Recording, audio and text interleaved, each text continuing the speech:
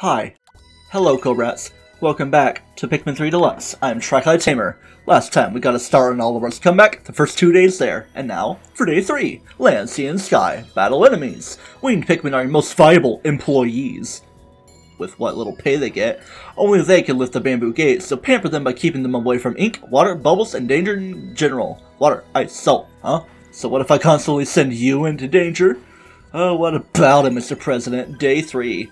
Mission log day 3. I'm constantly surprised at the number and variety of local life forms. We don't have much choice but to deal with them if we want to recover the parts we need, though.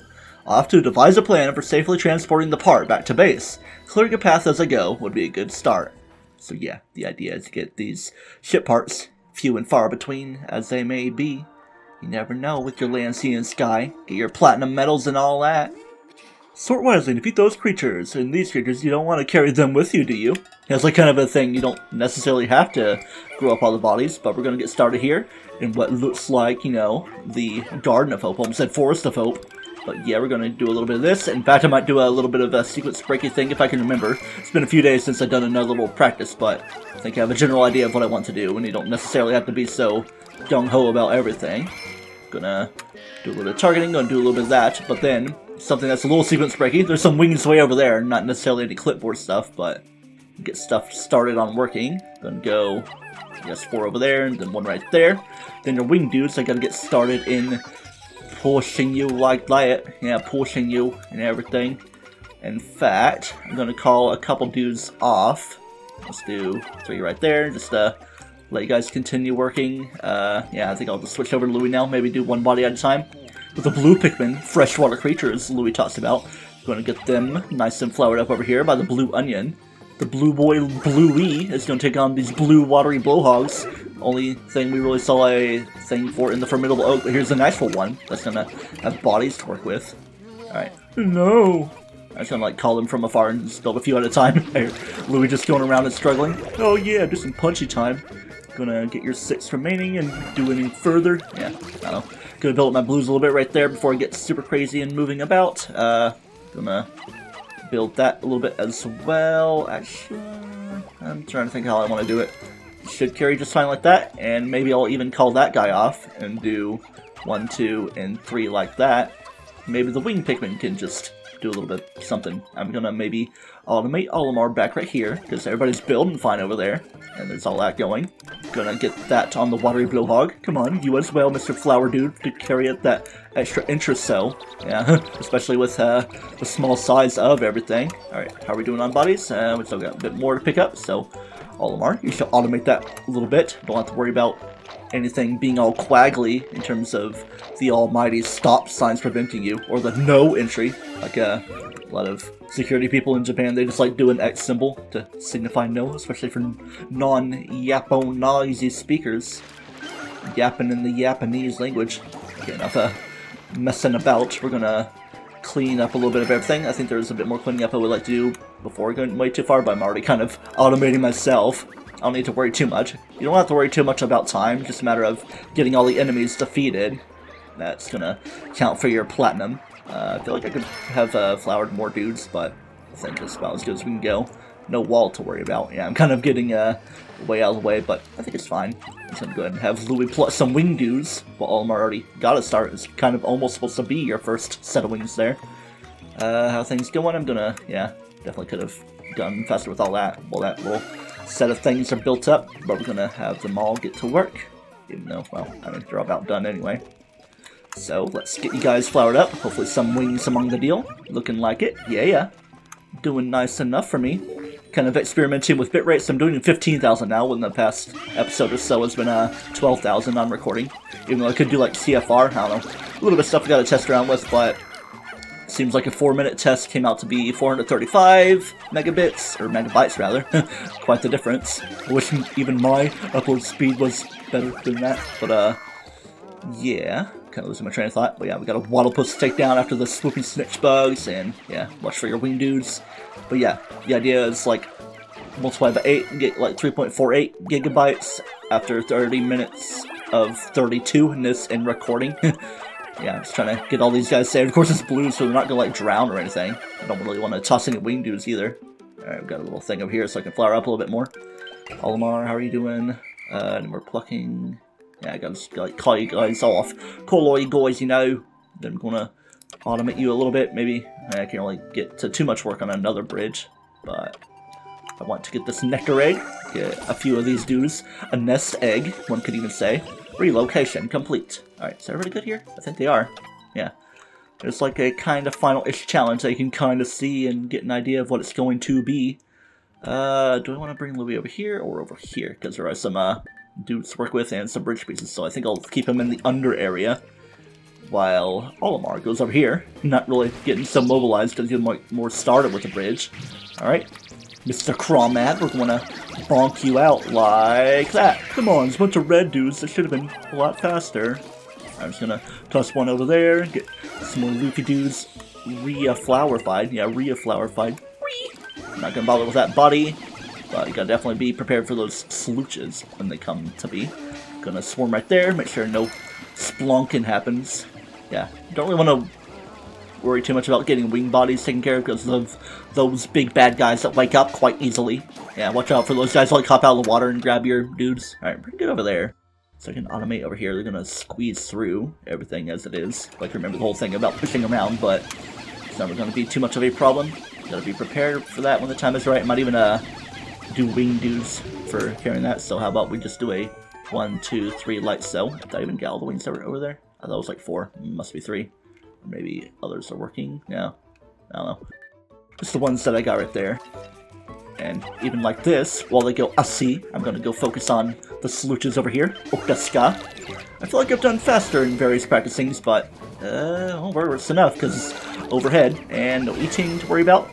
Gonna wait for it so I don't have to worry about any sort of whistling situation. Whistly doo da. Alright. Olimar. The rest of your dudes are gonna get all tossed in over there. Work with the rest of them while I go over to Louie. Oh yeah, of course that happened. Kind of suspected such a thing. Decent posse of blues. I could always build them up, but eh, 22 is not bad at all. Got a couple uh sputtle dudes, sputtlefish, yeah. Like sputtlepuss, no, swaddlepuss. Well, get all this going, and we're going to just focus all these glues on the bridge pieces. Might even get prepared to call them off once they're putting it right into place. I don't even need to finish the bridge. I can like toss a Capitan over. A Capitan being Olimar, while Louie just a lowly employee, but working class is always your friend. Gotta do what you can. Alright, let's uh, do all this. There we go. Get your blues. I'm gonna preemptively get to work on these dudes. Well, I mean, everybody's kind of joining together, so I can just bring all of them all over. But Louie is gonna exert his leadership skills and how we can handle everything. Uh, careful. Come on, come on. Don't get eaten. Uh, even though death doesn't really matter that much. I can definitely focus your reds first, and then it's gonna get the swarming. Should be just fine. Uh oh Not so sure about this one. Alright, might have to toss a little bit. Go, go, go, go, go, go! Yeah, three have been eaten. Uh, pretty much one of every color we have so far. Exactly that case. Yeah. I don't want the stain of death, but uh, it really doesn't matter. I'm gonna do a little bit of that. Maybe add a blue to help do your carrying over there. I don't necessarily need to build this much, but yeah, I think I'll just get this body and then uh, finish everything going. Leave those couple bodies there. There's no KopPad reading of Piklopedia stuff, so you have to like go into main story for that, even with Olimar and Louie stuff being playable only in these side modes, you know. Uh, aren't we supposed to have a spray around now, too? Make sure we're all good on enemies. Looks like three left. Yes, indeed. Right there. We're near as a hair. That's just like the gold point. Then there's that that knocks you up to the platinum. Yeah. This isn't really a place where the time counts up too much, but yeah. Be a little watchful. Wow, we're kind of coming up on 10 minutes on this thing in terms of being in recording. Uh, yeah, there's like no real cutscene stuff, it's just the uh, log situation, unlike Olimar's assignment. I mean, Comeback might have a little bit of stuff, as we'll come to see. Come back to see at that. Alright, wing dudes are gonna help me knock down these friendo buckos. Yeah. Get your Russian going on. Oh yeah, it's a very nice number pick and work with, and a very nice bug-eyed Crawmad that we're gonna dismiss a very uh, uneven number of dudes to take care of. Come on, just do a little tossing to work with. Be prepared for you to do your stuff and get all twisted over. Hopefully we're walking on well enough. Yeah, it doesn't really matter as long as we just keep on building up speed. Can we one cycle it? Yes, we can with 350 left. Not bad at all. Of course, I don't really know how this is going to compare to my uh, previous runs. I'm not really paying much attention to the timing. Yeah, I did lose three, but it's really not too conducive. Like, it doesn't really even track that much of anything. There's your 700, that's like a fixed score, then your time bonus is what kicks in for the rest of it. A very solid 3000! New stage available. Yeah, of course, uh, the captain boss dude talks about you being your highness because platinum does make your ro royalty. And, like, if you were to hit gold, he'd be like, Congratulations, General, you've done great about this. So, yeah. There's my normal score right there, and then my ranking data is coming right up. Gotta bring my phone back to watch myself on the timer. Coming up on 11 minutes, land, sea, and sky. Oh boy. Not too bad there, even though I could redo for a little bit better time and maybe less death, and maybe even fewer Pikmin than 69, even though it's very nice. We found the Hocotate ship, well, part of it. Looks like the ship suffered severe damage, and its pieces were scattered here and there and everywhere. This all feels very familiar. There's no time to wallow in nostalgia. Nostalgia, go away. We have to recover those parts and get them back to base before the indigenous life on this planet does who knows what with them.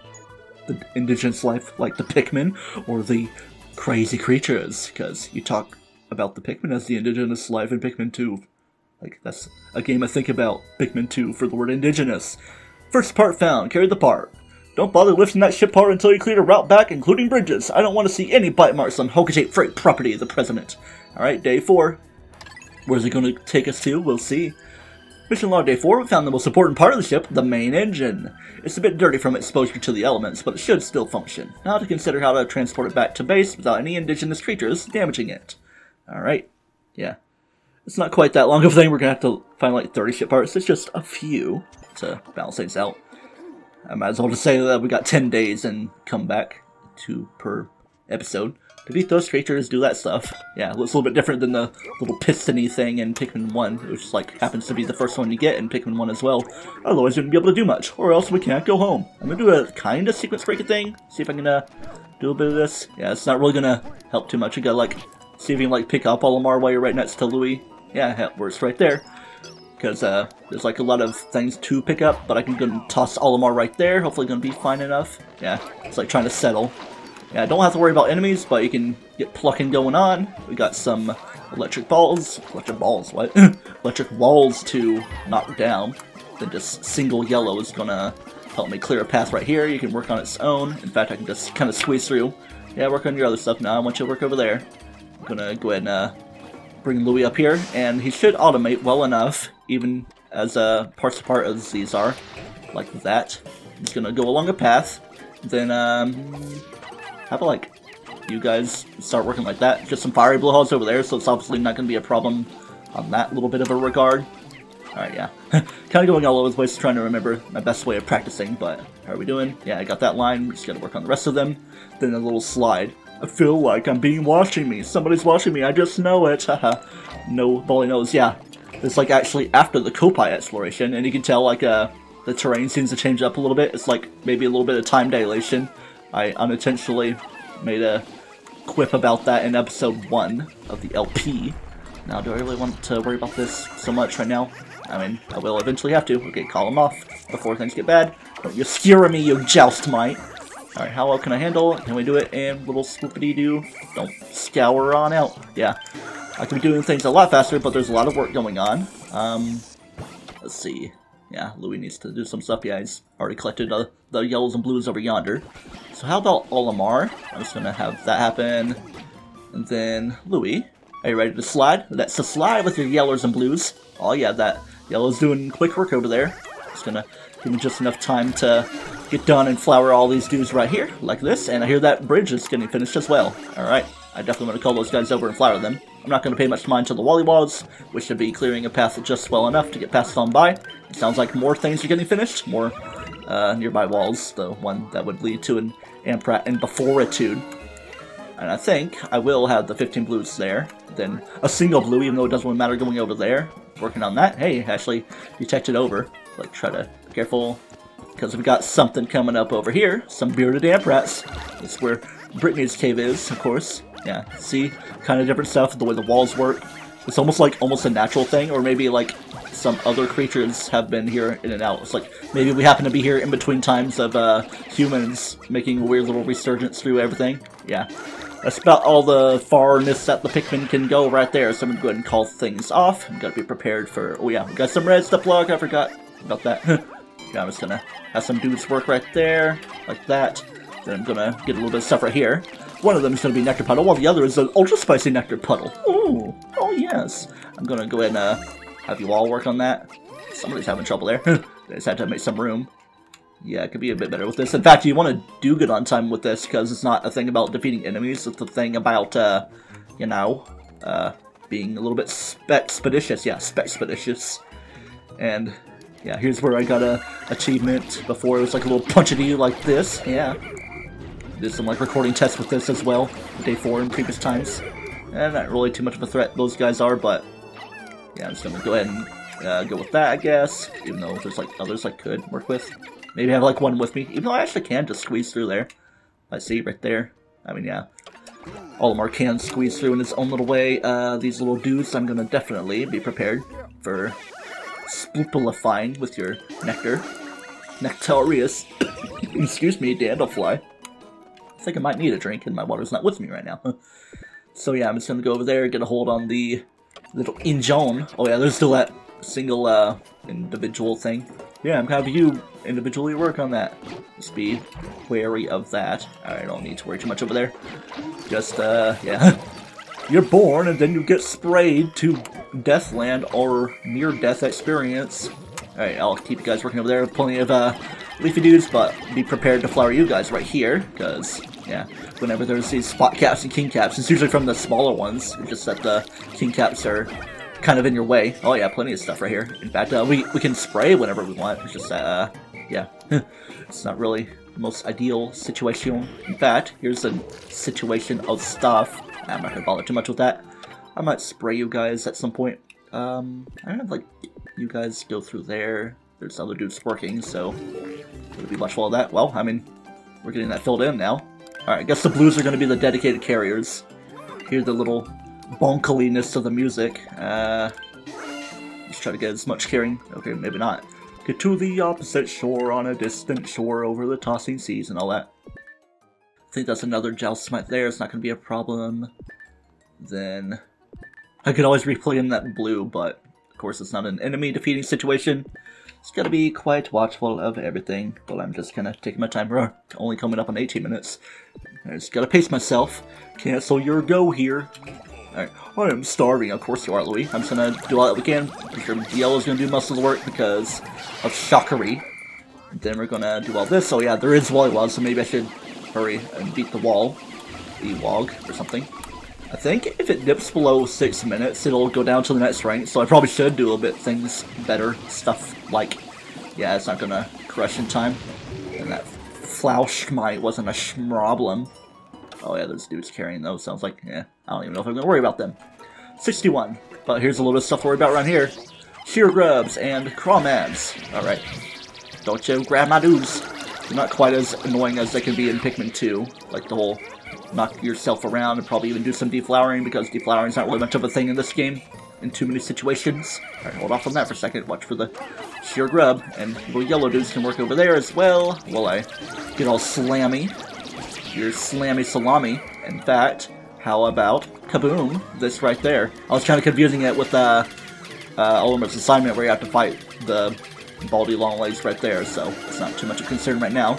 Sure, you guys can carry for all I care, E. Wait, there's a whole, like, other thing up here, though, isn't there? Or maybe not. Maybe I'm also still confusing that with other things. Yeah, like over there, where the Bearded Amprats would be before, but, yep. Just a matter of getting the thing back in time, and I guess I still got it in Platinum mode. Yep.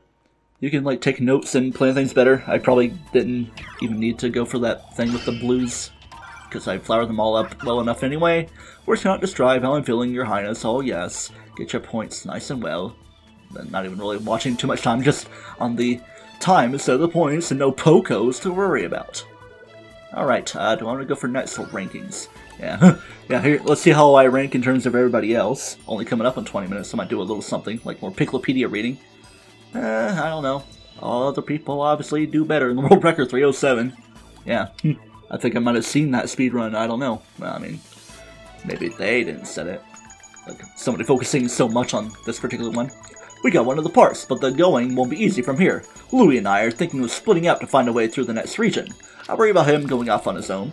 Maybe there's a way to keep an eye on him from a distance. We'll work it out, I suppose. Or else. or else the Presidente will not be very happy mente.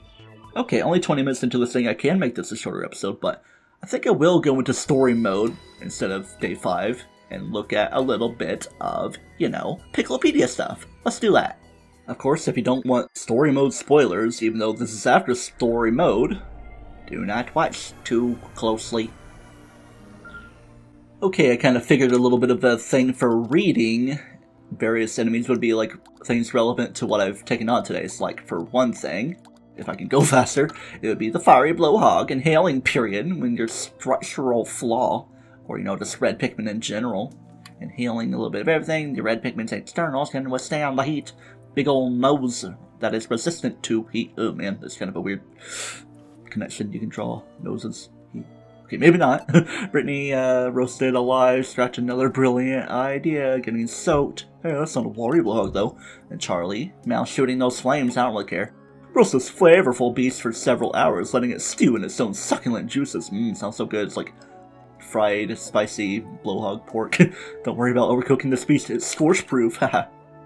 So it would be kind of hard to cook, so it would probably just remain raw. I don't know. Fiery blowhog, Sus Draconos. It soaked it in. Blowhog family spells volatile phosphorus stuff. The spontaneous explosion of a fallen blowhog. This process is also perhaps to avoid risk of spontaneous combustion in the belly of a live specimen. However, one should still treat a fiery blowhog with great care during transfer. Alright, I think likewise I might want to take a gander at a watery blowhog, wherever it may be. Sometimes it gets out of order based on how things look. There's always someone new for the Plasm Wraith. Oh boy, the final boss. Yep. Same old weakness saying about the inhaling period. Just gotta focus with different elements of water, you know. Kind of the same situation where they're panicky and you can whistle it to safety. Convinced me that the animal is uh, having all kinds of uses. I wonder what the cooking situation is to be like. Isn't too bad if you ask me. Give you a nice shower, even though it could be a smelly water from its internals. This beast's unrivaled moistness, ew, gives it a melt-in-the-mouth quality that's incomparable. I'm pretty sure a lot of Louie's entries, if they're something that was from Pikmin 2, it might be kind of similar as well. Like maybe leftover. So Sus Lugian, say of Lugi on you, so maybe not be uh, very tasty or uh, unsmelly of the water. Variant subspecies of the fire blowhog, the dominant genes for non-flammable liquid and catalyst of jetty times, uh, going uh, for a walk on the jetty and get your dominant, highly robust population increase going on. Just adding words, all strangely. I gotta de-newify that, even though it's gonna pretty much be the same every time. And with this, next time Pikmin 3 Deluxe, we're gonna keep on going with the pattern and do day 5 and 6 of Olimar's comeback. Might have to do a bit more micromanaging and team composition between Olimar and Louie, however best we can. Until next time, do not toast yourself, and remember, keep on chucking the Pikmin after you pluck them.